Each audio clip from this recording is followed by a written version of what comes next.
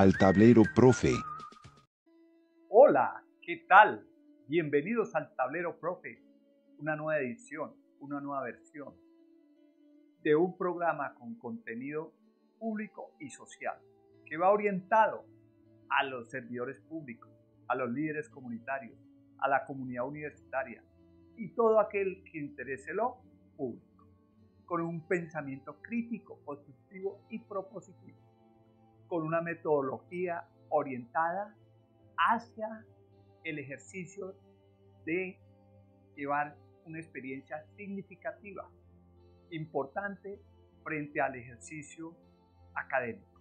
Un solo compromiso con la parte el conocimiento. Pues bien, hoy vamos a hablar del sistema presupuestal. Pero antes de desarrollar el sistema presupuestal, tenemos que saber cuál es el referente, cuál es el marco que lo establece.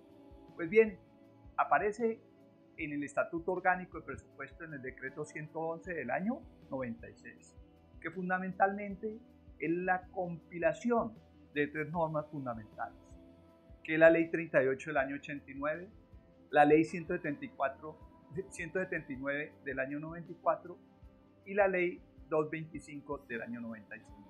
Posteriormente surgieron otras normas que vienen a, complementar, a reforzar lo que es el Estatuto Orgánico de Presupuesto, verbigracias como la Ley 819 del 2003.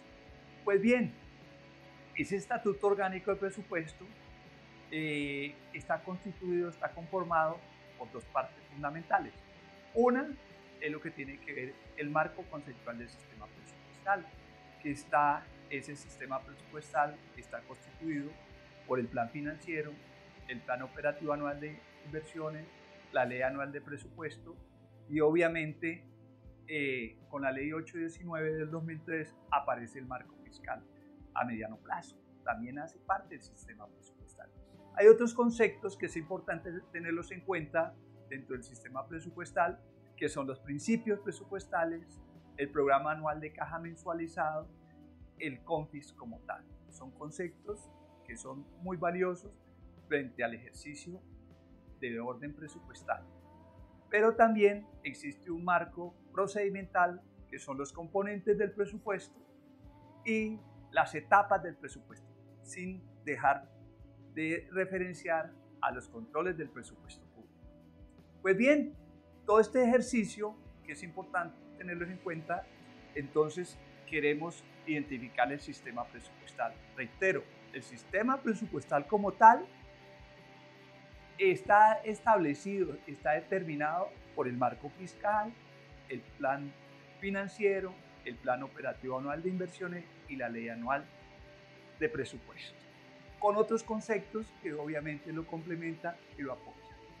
Entonces, definamos qué es el sistema presupuestal en sí pues obviamente es un conjunto de elementos o instrumentos de gestión de planificación financiera y presupuestal que están articulados entre sí en un proceso de orden presupuestal para la vigencia fiscal.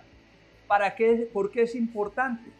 Es importante porque nos identifica cuáles van a ser las fuentes de financiación y sus posibles alternativas para obtener los recursos.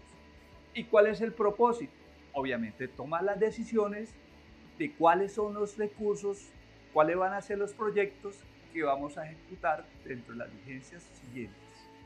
En ese ejercicio, pues obviamente es importante tener en cuenta que tienen que estar de una manera articulada, de una manera armoniosa, que el movimiento del plan del marco fiscal a mediano plazo, pues obviamente va a afectar el plan financiero.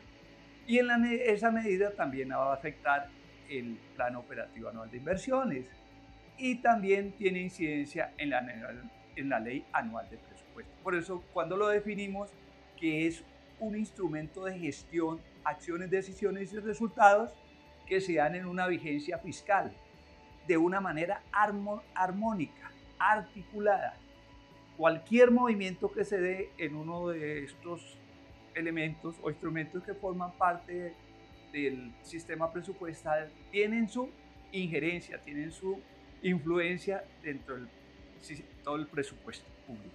Pues bien, de esa manera podemos reiterar, insistir que el, presupuesto, el sistema presupuestal, si está bien articulado, si está bien elaborado y constituido, pues obviamente tendrá una buena repercusión en la gestión de la administración.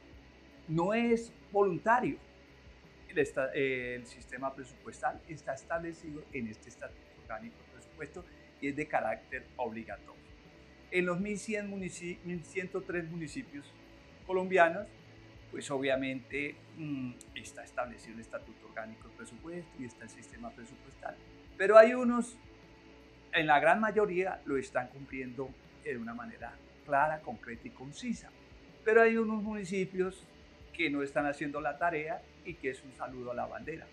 Ojalá que mm, tomen conciencia y que para una buena gestión los gerentes públicos, los secretarios de Hacienda, los secretarios de Planeación y todo el equipo de trabajo tome la responsabilidad que corresponde y que los organismos de control pues obviamente hagan los hallazgos respectivos cuando no se cumpla la norma. Eh, eh, recuerden, es de carácter obligatorio.